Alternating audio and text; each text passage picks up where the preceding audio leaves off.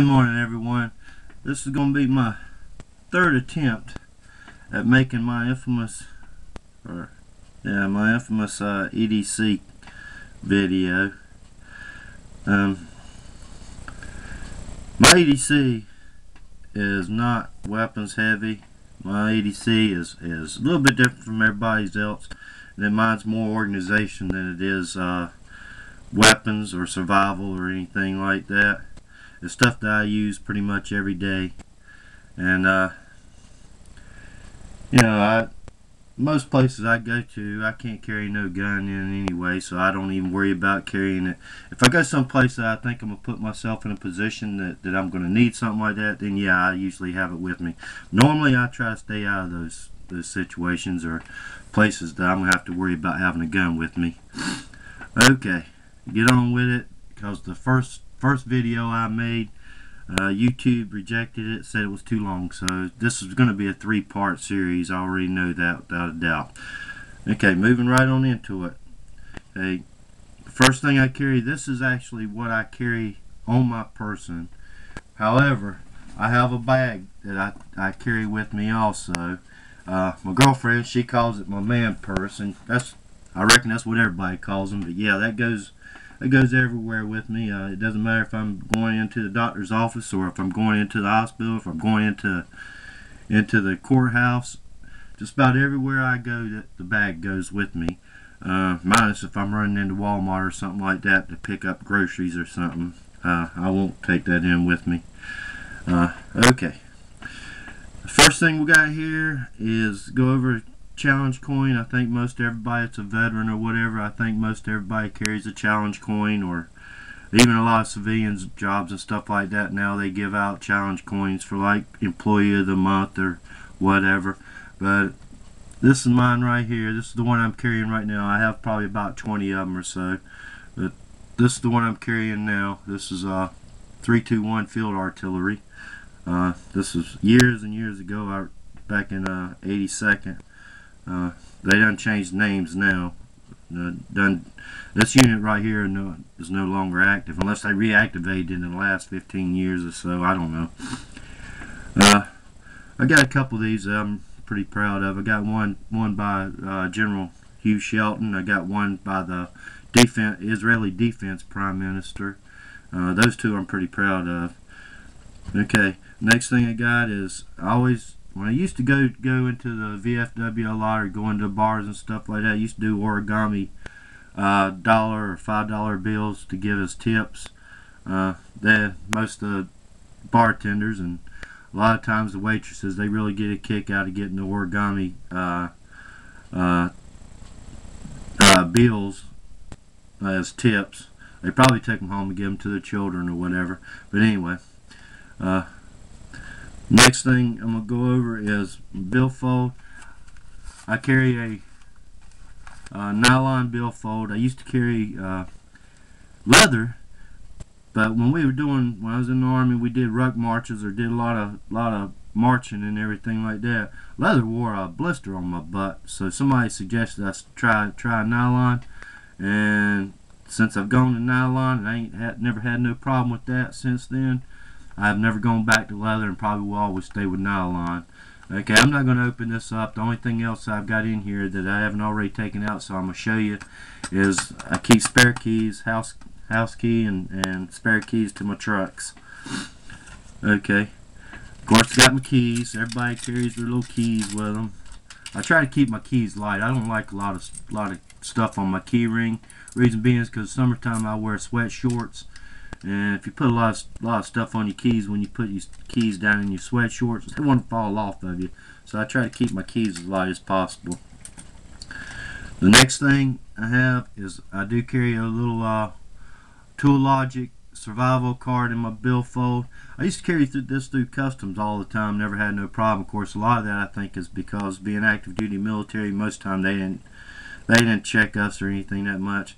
Uh, when I finally did remember, it was one day when I was trying to go into the courthouse, and they found it in my billfold, told me I couldn't carry it. So no problem, I took it back out to my truck. Okay, on here, they got a small compass, magnifying glass. Uh, you have a Let me see if I can get it out. I ain't got no fingernails right now. Now you got got a little toothpick or pick. I, I reckon you use it as a toothpick. Now, then you got uh, tweezers. You got your small tweezers. These tweezers ain't all that good, but I reckon they work.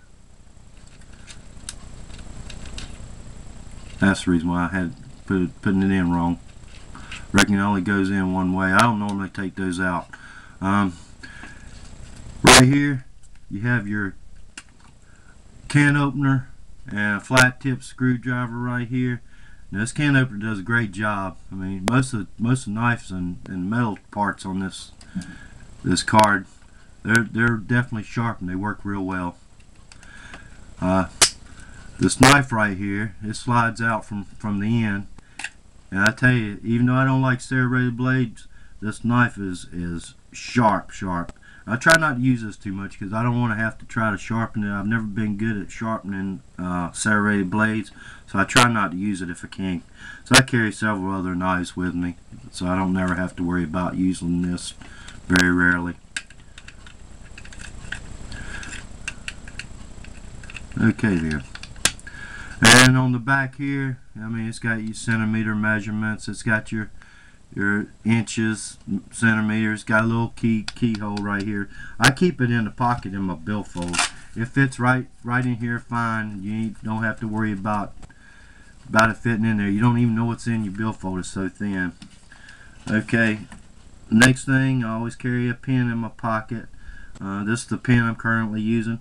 I was using one of these uh, Uzi Uzi tactical pens, but this this just too heavy for me. And plus, uh, I don't like having to unscrew it and screw it to get the pen part out.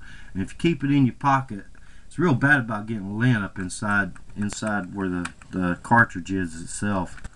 I'll I'll do a review on this uh, later. I hadn't had this too awfully long, but I know in probably the month that I did carry it, it's just too heavy in my pocket. Um, next thing is I carry a original Leatherman. I think I got this Leatherman back in back in the mid 80s. I know it was right after they first come out with them.